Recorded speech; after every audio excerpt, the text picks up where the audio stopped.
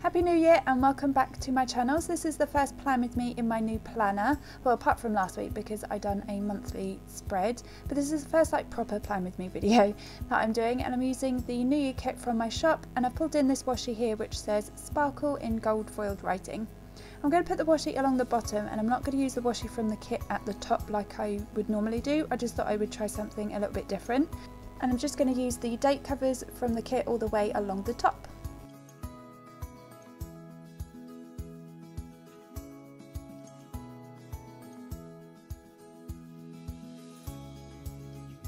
So going in day by day, today is a bank holiday because it's New Year's Day. So I just put a page flag at the top and just wrote down New Year's Day and then I put the glasses with the 2018 from the deco sheet on underneath. Then I just put two strips of washi and a half box because I wanted to upload this plan with me. Now this day has gone a little bit not to plan because I've basically just been sorting out my cutting machine because I had a problem with it and it's pretty much taken me all day to figure it out and sort it all out. But luckily it is working again thank goodness. So I didn't actually get to upload this plan with me this morning and I also didn't get to organise my pantry and fridge as well as I wanted to design although I did design some new freebies today so it wasn't a total waste but I originally wanted to organise through my pantry and fridge after the Christmas session it's a big mess so I needed to go through that and I wanted to design and I did do freebies so I kind of designed today. But for tomorrow my partner is going back to work so I just put that on a half box. I also put a little sad poppet there too because I'm kind of sad that he's going back to work and leaving me. Underneath I put a checkbox because there's some things that I want to get done throughout the day and tomorrow I was going to be sorting out my cutter but thank goodness I done it today because I didn't realise it was going to take all day so tomorrow I can print, cut and restock on everything so it was a really good decision that I looked at it today.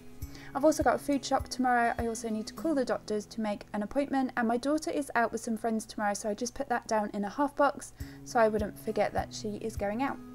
I've also managed to do all of my orders, so I'm going to be posting all open orders out tomorrow. So if you've got an order waiting, it will be posted tomorrow.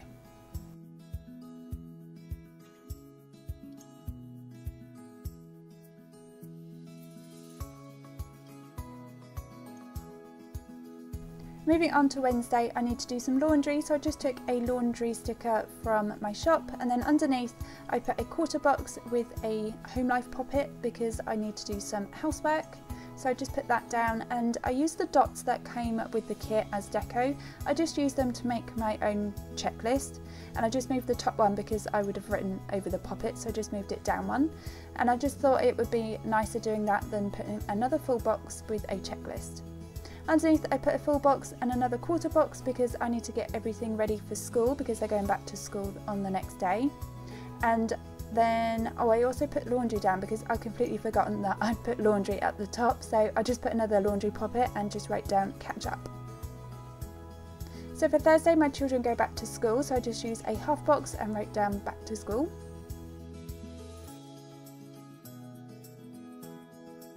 I used another poppet from the doctor sheet which is in a different colour because I need to make an optician's appointment for me and my daughter. And then underneath there I wanted to film a mock spread of my new kit that's going to be coming out so I just marked that down on a quarter box. I used a full box to block off a lot of time for me to film and also on this day I want to print and cut some of my new releases. And then underneath there, just to cover up that line, I used a piece of the washi and then again I used another little dot from the deco sheet just to write down that my bins need to go out because I always forget about the collection.